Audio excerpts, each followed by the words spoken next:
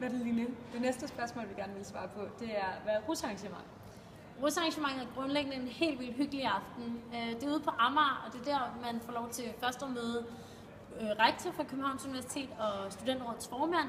Og så bagefter så får man lov til at møde sine tutorer og nye medstuderende, og få lov til at snakke med dem og lære dem bedre at kende. Ja, og så øh, bagefter så er der mulighed for at købe noget aftensmad sammen, og måske lige drikke en øl eller tre, og bare sidde hyggeligt. Så øh, vi håber, I kommer den 18.